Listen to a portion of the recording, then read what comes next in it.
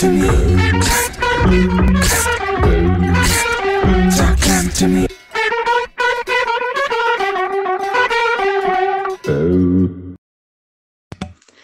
Hello, everyone. Welcome to episode two of Talk Climate to Me, the online edition.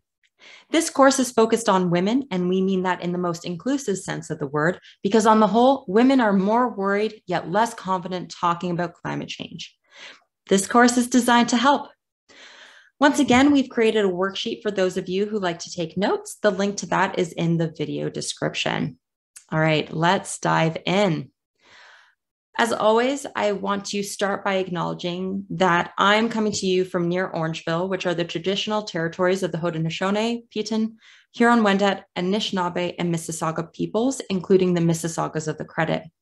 We acknowledge that these lands are now home to First Nations, Inuit, and Métis people from across Turtle Island. These lands are covered um, by the Dish with One Spoon Wampum, a peace agreement between the Haudenosaunee Confederacy and Anishinaabe Three Fires Confederacy.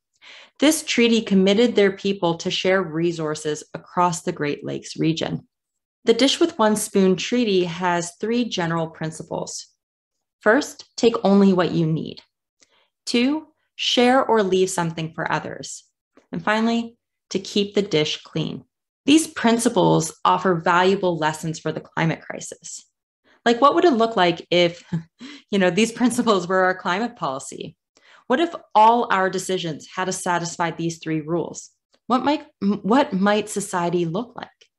If you'd like to learn more about the Dish with One Spoon uh, treaty, we actually have a video link uh, to a video that features Rick Hill. He does an excellent job explaining the Dish with One Spoon, and um, I recommend you take a look at it.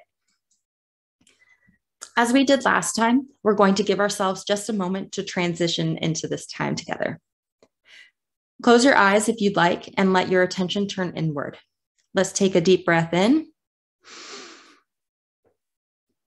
and breath out. This episode is about empathy, and I invite you to take this time to feel empathy and kindness to yourself for all your gifts and for showing up every day. Now, let's think of someone dear to you and let's send a little bit of love their way. And if you'd like, expand your awareness to all living beings, all people, animals, plants, waters. Think about all the ways we're all connected you might think about the plants whose exhale creates air for us to breathe, or of the grandmothers who protect the lakes and rivers. Whoever or whatever you're thinking of, take a moment to remember them. Take one final breath.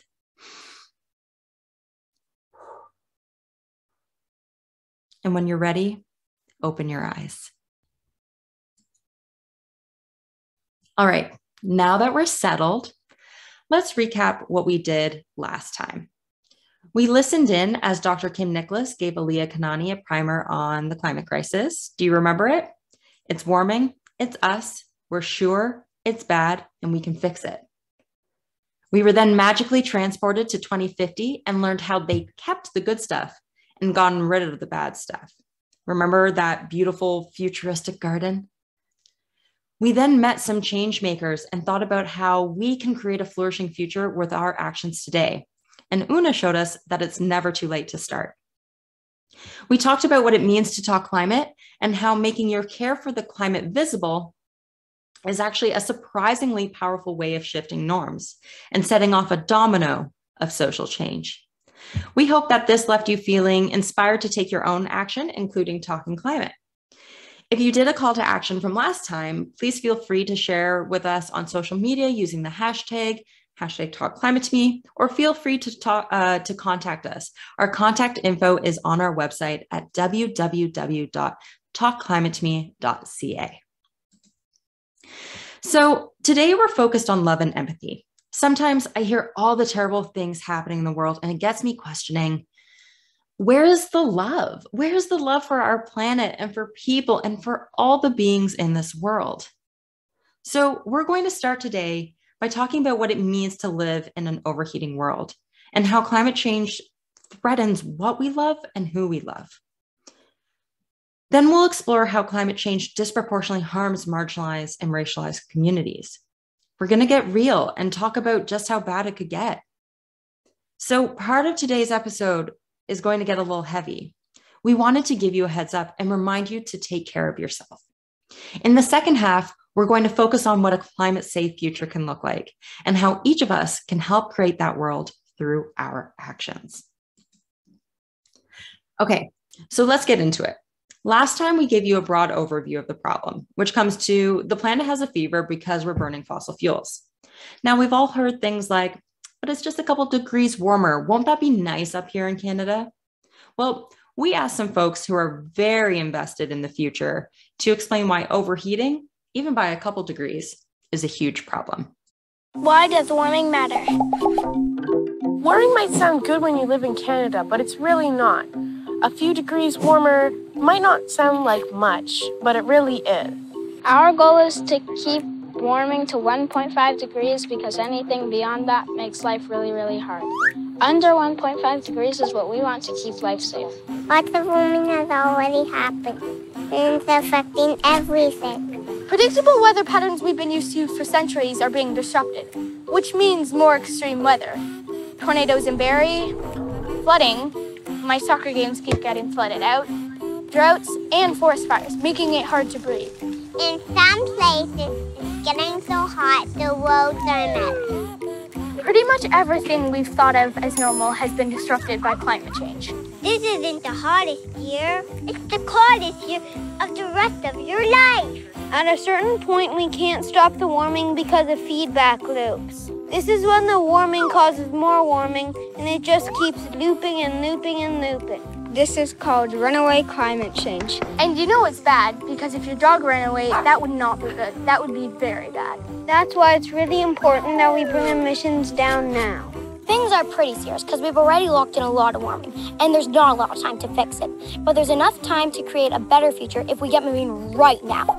So let's do it. What do you think? Are you up for it?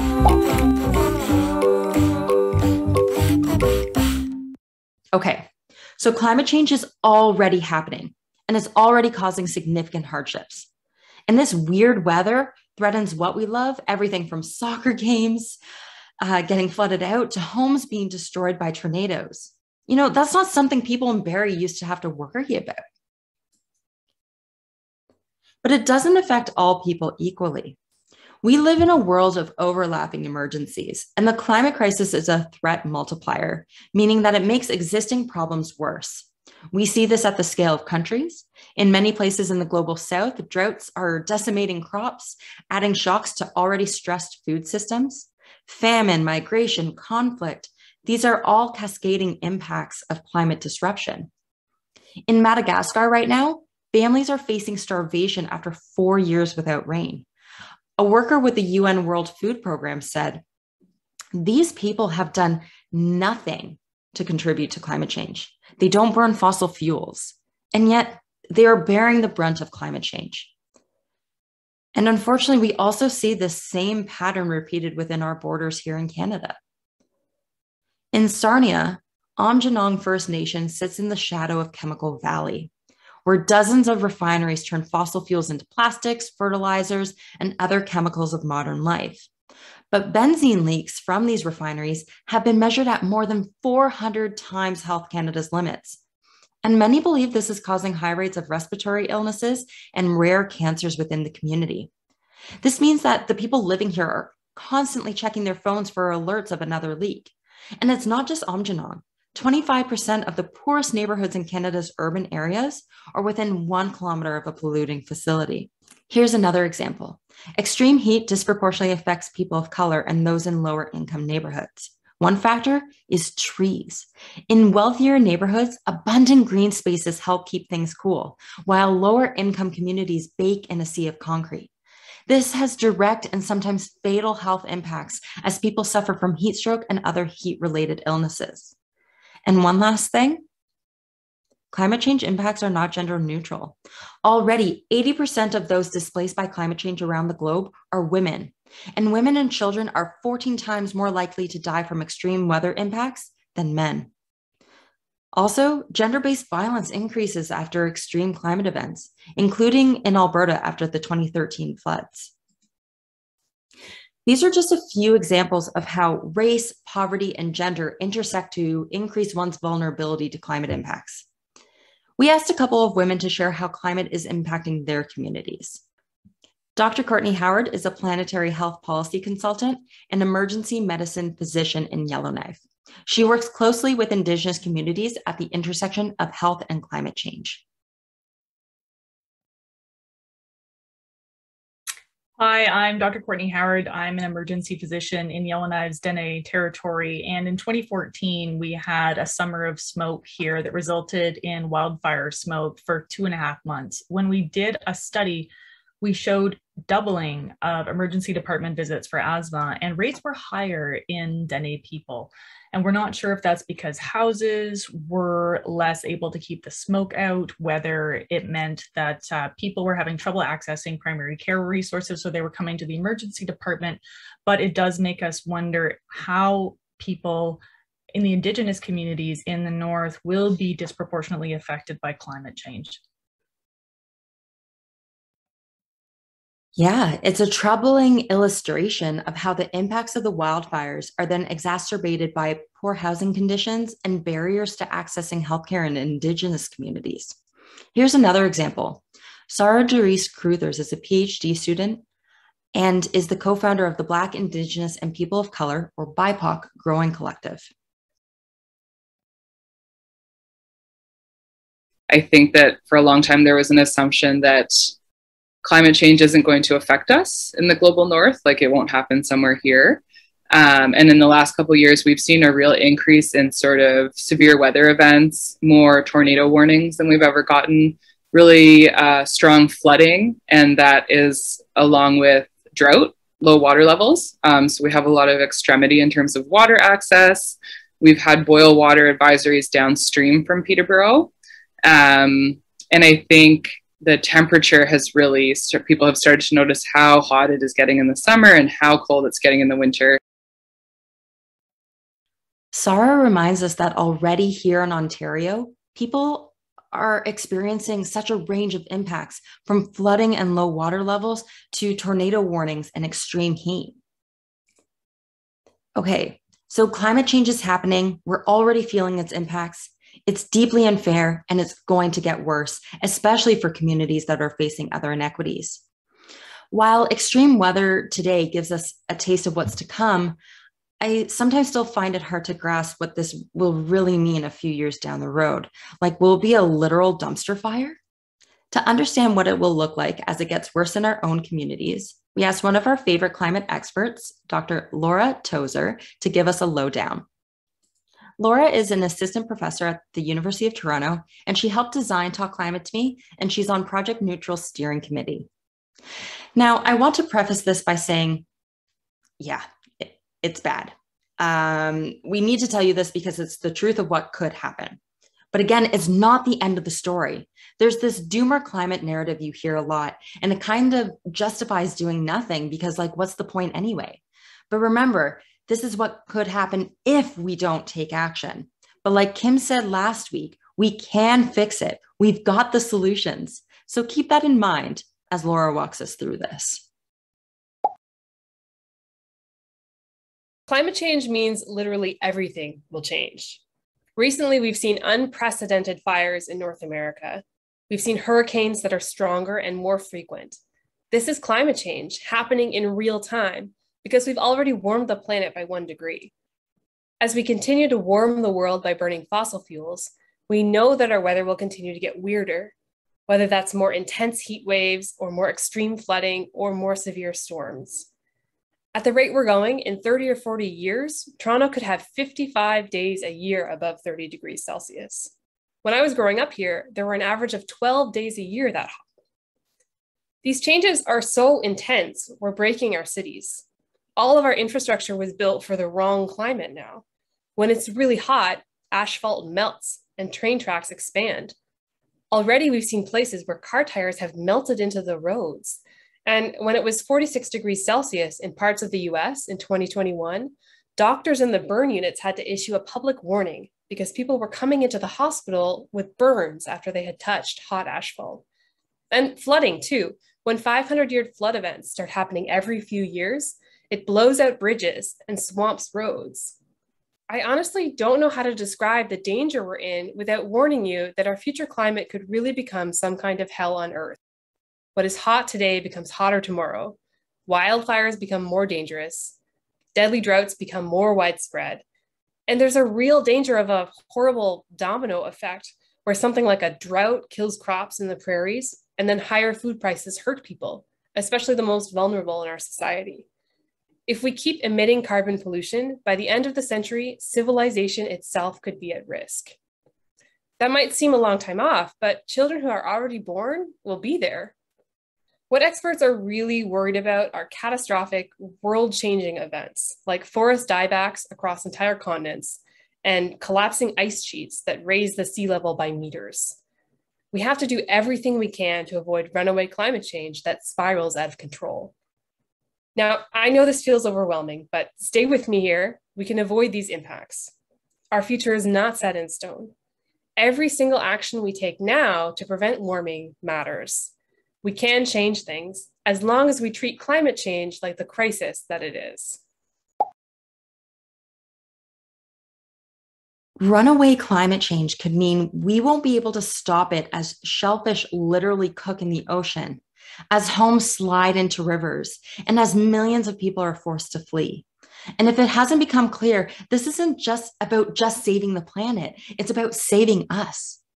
Certainly, when you focus on this potential outcome and what is at stake, it feels overwhelming, it feels scary, and it's easy to throw up our hands in despair and fear. I have felt those feelings for sure during my climate action journey when governments go backward with climate policy, when major disasters occur, when you feel like you're taking climate action alone. But as Laura said, and what we really want you to remember is that we still have a window to act. We can save the planet and we can save all that we love. Before we get to that hopeful outlook of the world that we can still create, we just wanted to take a moment to acknowledge that for some of us, this might feel really heavy. The scale of loss and suffering, it's a lot.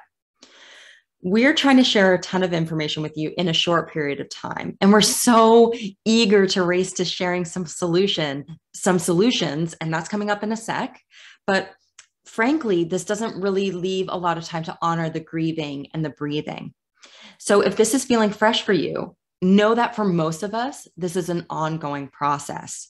And when those feelings come, give yourself grace and find ways to take care of yourself. Taking care of yourself is so important when you're a change maker. Now, how you do self care will be unique to you. For me, it's putting my phone away because climate headlines are really scary. And it's binge watching really bad movies and then going out to nature um, to feel, you know, fully restored. Our friends at Carbon Conversations Toronto have, um, on the other hand, have seen the relief that comes when people come together to talk about these feelings. So take a moment to notice how you're feeling and to think about the practices you draw on to restore you. What's already in your bundle for taking care of yourself? Now, this is an exercise in noticing that you know, you can sit with these feelings and that you have the tools to be okay. So I'm going to play some music and then I'll see you on the other side.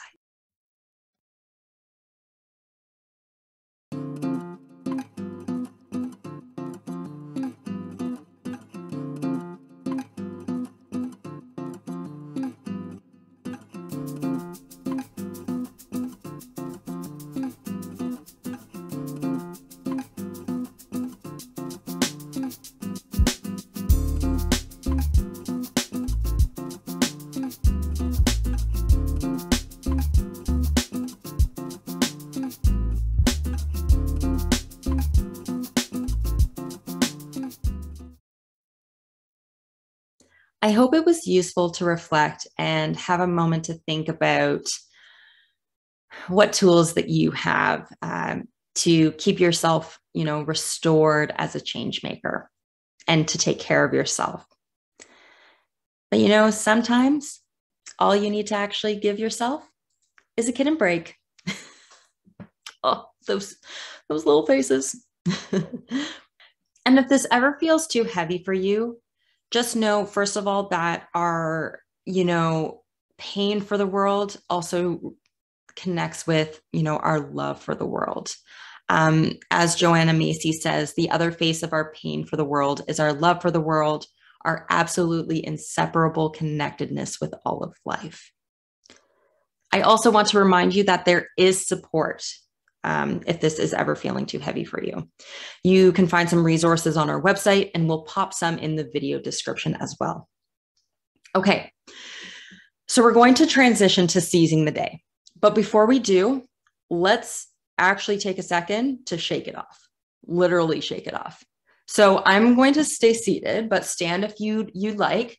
And we're going to start by shaking our hands. So really let your wrists go, then add in the rest of your arms. I know, I know I look ridiculous. So you probably look ridiculous, but let's just go with it. Get your elbows and shoulder joints to relax. If you're standing, hop slightly, shake out your left leg, shake out your right leg, shake out your head. Three, two, one. Whew. So let's switch gears. Yes, it's going to get worse and it could get really bad. And that's the narrative we're used to hearing, and it usually ends there. But it doesn't have to be this way. If we remember what we cherish and act out of love and empathy, love for ourselves, our families, our communities, all the beings of the earth. And, and what is awesome is that we do truly have another option. So let's talk about what a climate safe future could look like. At this time, um, I recommend you pause this video and head on over to the Imagine video by that features Xiye Bastida. The link is in the video description. She's going to help us imagine a climate safe world. Welcome back from uh, the video feature, the Imagine video featuring Xiye Bastida. If you haven't had a moment to watch it, again, I recommend that you do. The link to the video is in our video description. I'd like us all to take a moment and think about either what strikes you about Xiye's video, or maybe what is still implanted in your mind from the 2050 video from episode one with Jamie. Or perhaps use your wild imagination and think about what strikes you about a climate safe future. You know, for me, I imagine safe walking and biking routes. I imagine fast electric trains and community gardens that keep everyone food secure. And finally, I imagine beautiful native gardens that, pro- that promote an abundance of biodiversity. But it's your turn now. What strikes you about a climate safe future? I'm going to play some music and I'll see you on the other side.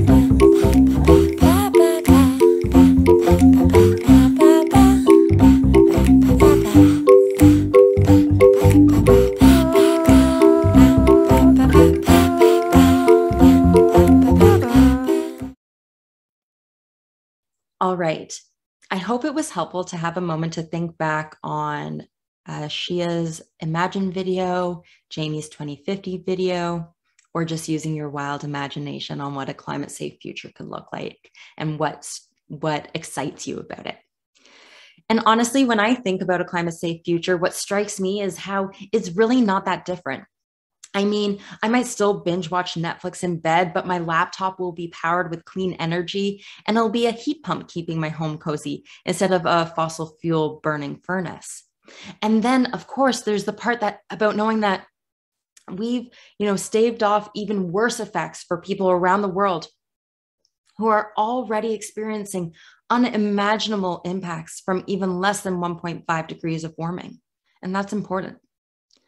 And as she has said, these things are all possible with the technology we already have today. And each solution is a piece of the puzzle in creating a climate safe world. And it's not just that it's this like hopeful, optimistic message. It's also about countering the climate doom narrative because actually we are making progress. We're seeing more of the good stuff, like how 90% of all new energy last year was renewable, and that we're slowing the bad stuff, things that lock in further pollution.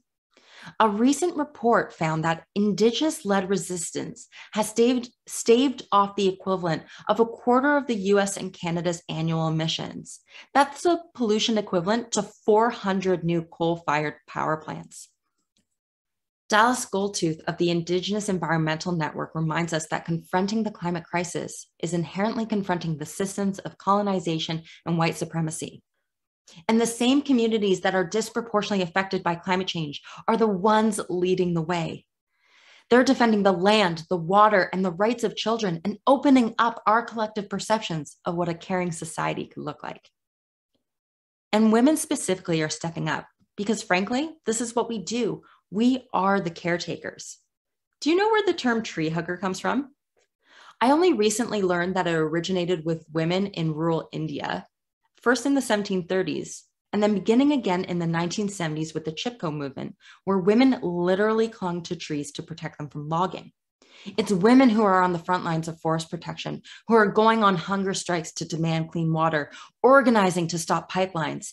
And Indigenous, Black, and women of color, in particular, are and always have been on the front lines of the resistance. We asked two women to share their stories of le leading climate action in their communities. Patricia Wilson works with the Kawartha Land Trust and is the founder of the Diverse Nature Collective.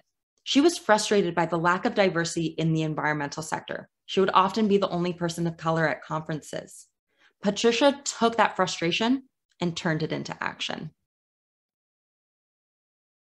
So being frustrated with this and trying to find uh, a way to kind of address this issue in my community, I founded my own organization called the Diverse Nature Collective, which aims to mobilize and empower BIPOC voices in my community to be a part of the environmental and outdoor world. We aim to host workshops that are led by diverse groups um, for diverse folks to help build skills and share knowledge, and we hope to partner with local conservation groups and environmental groups um, and to act as a conduit for bringing in more diversity and more diverse voices to these organizations to help um, contribute to greater change in the future. Yes, I love her story. It's so inspiring. I'd now like to introduce you to Dr. Hind Al-Abadleh. She is a professor of chemistry at Wilfrid Laurier University. She's currently leading a research partnership assessing air quality and children's exposure to traffic emissions. Climate action in my community is still work in progress. For example, I've seen investments in public transit and bike routes, supporting local farmers markets, and educating the public on energy efficiency. I've started a pilot project to monitor air quality near schools in Kitchener with university students and local government partners, and raised awareness on the urgency to act through media interviews and at community events. With the recent release of the IPCC report that gave us code red for humanity's role in changing the climate, the time to act is now, and I am happy to join your Talk Climate to Me initiative. Thank you. Dr. Al-Abadleh is doing important work helping to ensure good air quality, especially for the most vulnerable in our communities. We must listen to communities that are most affected by climate change and uplift their leadership because when you're close to the problem, you're necessarily close to the solutions. This is where I'd like to share again or or expand upon what Project Neutral is doing to encourage diversity and inclusion throughout our course. In developing our course, we reached out to local climate leaders to share their experiences. We had BIPOC experts critique our course to ensure we had a comprehensive course that, uh, from many perspectives. And throughout our videos, we amplified uh, we amplify BIPOC voices. We are committed to diversity and inclusion, and we continue to take steps to improve. Actually, it's our dream to diversify the facilitators of our course, and that's only one, you know, idea we have in our diversity, equity, and inclusion strategy. All right, so I am so inspired by these leaders, but of course, we can't just rely on on them. It's up to all of us. We all need to act. This is the decade where we decide our collective future. We are the last generation to have this choice. Forget generation X, Y, Z. We're generation climate. Think of it this way. We have to run a six minute mile every year for 20 years to stop, to stop climate change. We could walk this year, but to catch up, we'd have to run a 5.5 minute mile next year. The slower we get started, the faster we're going to have to change later. And at some point, the human body just can't run a two minute mile. Similarly, our societies just can't change that fast, at least not in a way that takes care of everyone. So we need big, bold climate action now to stop runaway climate change and ensure a climate safe world for all of us. You may now be wondering okay, what can I do? Well, there are literally tons of options. We need to push governments to pass strong climate policies and push companies to transition to the new green economy. We'll talk more about these systemic changes next week, but today we're going to start within our own lives, using our own carbon footprints as a microcosm of the larger system. You see, across Canada, roughly 45% of greenhouse gas emissions are connected to household choices. It's not that we're burning all those fossil fuels directly. Yeah, when we drive a car or heat our homes with natural gas, those are direct sources of pollution. But there's also all the stuff that happens upstream, like burning fossil fuels to make all the stuff we buy. Or think of the meat we eat. Before it gets to our plates, those cows burp up a lot of methane, a potent greenhouse gas. And it all adds up. And actually, as Canadians, we're polluting way more than our fair share. Indonesia is considered a middle income country, and we're polluting 6.5 times more than them. One person in Canada produces 14 tons of carbon pollution a year. And for friends in the US and Australia, I'm afraid you're in the same boat too. Our three countries tend to swap places as the three worst. And around the world, the richest 10% of people produce a staggering 50% of emissions.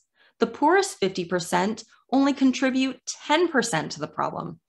And in fact, if you earned $50,000 Canadian per year in 2015, that put you in the top 10% globally, even if you don't feel rich. Oxfam estimates that those in the wealthiest 10% need to cut our emissions by 90% to keep warming in check. Us overconsumers have got some work to do. Now, maybe you're thinking, but it's not up to individuals. It's about collective actions, action. Governments and big companies, they need to step up. And yes, you're right. If that's what you're thinking, stay tuned for episode three.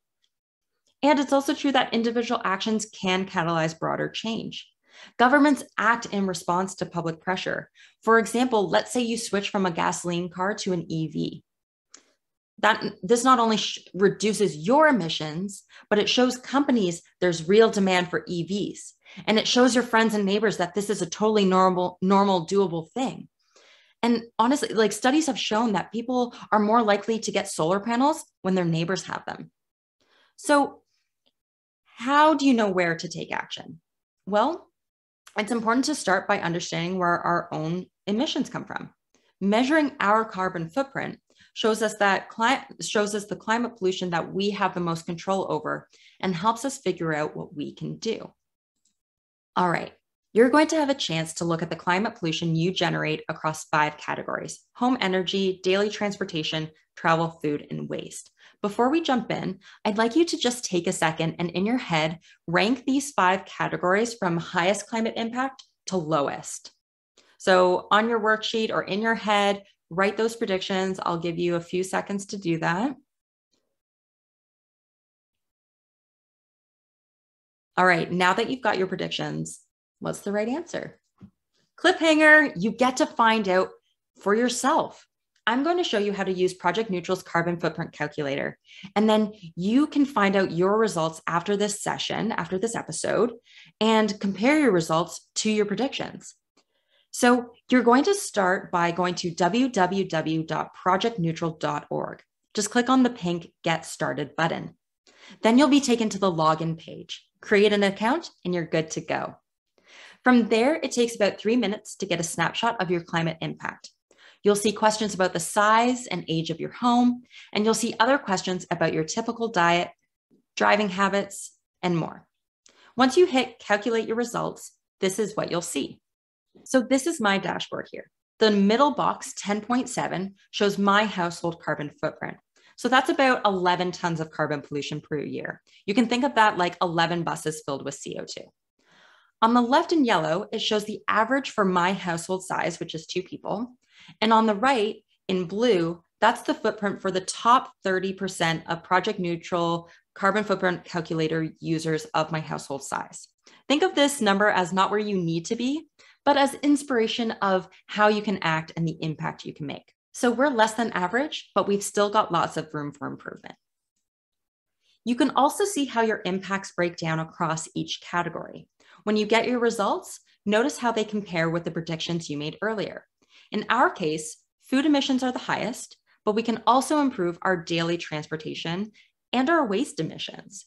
Now, this is just an estimate, of course. If you want, you can use Project Neutral's additional deep dive modules to refine your results to make them more precise. One point to make, though, is that this is calibrated for Ontario, where our electricity grid is pretty clean. If you live in a place where they burn coal to create your electricity, for example, your emissions from home energy could be much higher. So that's how it works. Now, sometimes when we do this, people feel a bit hesitant about seeing their impacts. If you happen to be feeling that, well, first of all, it's pretty normal. But we want to emphasize that this isn't about shaming or guilting for a few reasons. The world we live in wasn't designed with climate change in mind. There are some places you may not actually have much choice. You can't take public transit where it doesn't exist. And it's not where you're starting from. The goal is to help you understand your impacts so you can prioritize your actions. Finally, understanding where our own emissions come from then can help us know what kind of change to advocate for. Once you find out where your climate impact is the highest, Project Neutral offers lots of suggestions uh, for actions that you can take and an action journal to log your progress. But, you know, we can't make all the swaps all at once.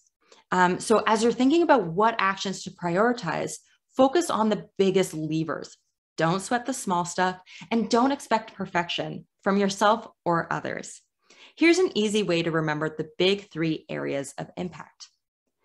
Fleet, heat, meat, repeat. Let's look at fleet or transportation. Two of the highest impact actions you can take are switch to an electric car or ditch the car altogether um, and avoid flying. For heat, we need to massively increase the energy efficiency of our homes. That means getting, you know, better insulation, replacing furnaces with heat pumps, getting off natural gas. Make your next stove electric. That helps the climate and improves your indoor air quality. For meat, well, half of all our food emissions come from meat and dairy. So going plant based is a huge step. And of course, if you see something you can't act on, like if you rent, you probably don't have much sway on building insulation. Well, number one, don't stress. There's always something you can control. And number two, that might be something you want to advocate for, like policies and incentives to encourage landlords to retrofit buildings. Alrighty then that's that's it. So let's have a quick recap of what we learned today. We covered a lot of ground. We started off by diving into why it's a problem that the world is heating even by only a few degrees. We heard the terrible tales of how bad it could really get and how these changes are disproportionately impacting marginalized communities. We took a moment to check in with our feelings and practice taking care of us, ourselves by making space to grieve and breathe. Then we look towards the good future and what a climate safe world could look like, including how we already have all the tools we need to create it. We hear stories of people leading the way to that future and that we can all get there if we act now. Finally, we introduce you to Project Neutral's carbon footprint calculator so that you can see the biggest area of your of emissions in your own life and what actions you can take to make the most meaningful impact, focusing on the big 3, fleet, heat, and meat. And of course, we have some calls to action this episode. We have also made them, uh, put them in the video description. So first, fill your feed with diverse voices. Check out Black, Indigenous, and other people of color who are leading on climate. We have a few of our favorites in the video description, but please share who you are inspired by and use the hashtag TalkClimateMe. Second, measure your carbon footprint and invite someone else to measure theirs, kind of like the ice bucket challenge. If you're on social, sharing your footprint is a great way to make it feel less scary for others to do the same. Finally, try taking one action related to reducing your climate impact for one week and talk to someone about how it went. And if you're sharing online, please do tag us uh, at, at Talk Climate to Me or using the hashtag Talk Climate to Me. I love sharing this time with you today, and I'm so excited for you to head on over to the other episodes. Uh, for episodes three and four, or if you happen to miss episode one, head over to Project Neutral's main YouTube page, and we have a Talk Climate to Me episode playlist ready for you. All right, see you for episode three, and happy talking climate. Bye.